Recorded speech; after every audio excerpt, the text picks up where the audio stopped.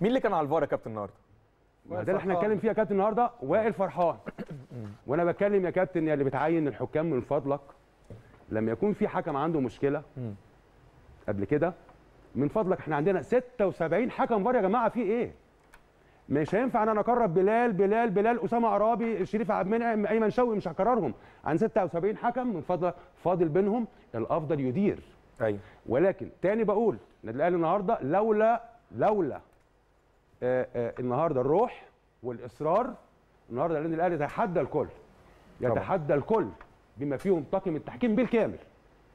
عدم حساب ركلة جزاء صحيحة عدم طرد لاعب الجونة وهجيب اللعبتين يا كابتن. بلال ده 15 foot on foot هات دهس على رجل لاعب الأهلي.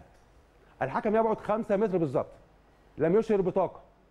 أنا لما طلعت قلت الحكم البولندي نتعلم منه الناس زعلت. إحنا جبنا الحكم البولندي أدار مباراه الأهلي والزمالك النادي الأهلي خسر. إحنا قلنا يا كابتن بلال قلنا الحكم العلامة الكاملة للحكم ال- ال- البولندي.